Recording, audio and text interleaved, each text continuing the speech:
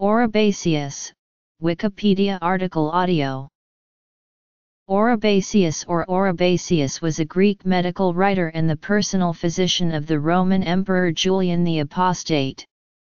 He studied at Alexandria under physician Zeno of Cyprus before joining Julian's retinue.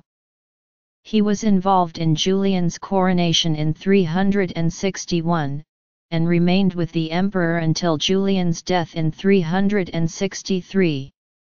In the wake of this event, Oribasius was banished to foreign courts for a time, but was later recalled by the Emperor Valens.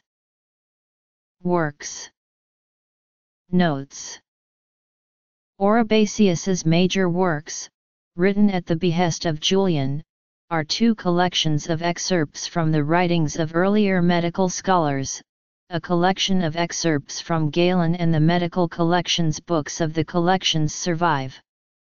This work preserves a number of excerpts from older writers whose writings have otherwise been lost, and has thus been valuable to modern scholars.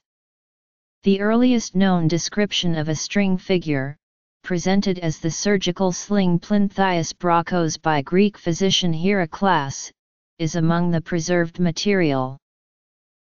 Hagiography has it that in 362, on behalf of his emperor Julian the Apostate, Oribasius visited the Delphic oracle, now in a rather desolate state, offering his emperor's services to the temple and, in return, receiving one of the last prophecies by the Delphic Pythia.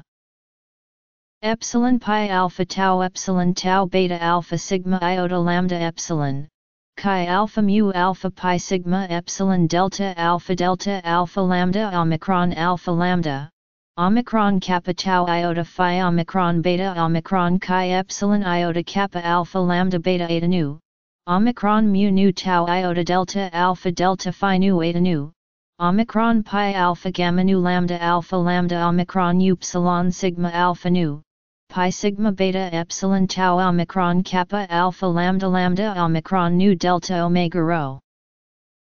Tell the emperor, the splendid hall fell to the ground, Phoebus no longer has his house, nor the prophesying laurel, nor the speaking well. The speaking water has also gone out, Passio Artemii 96.1284.457, Cedrenus 1.532.810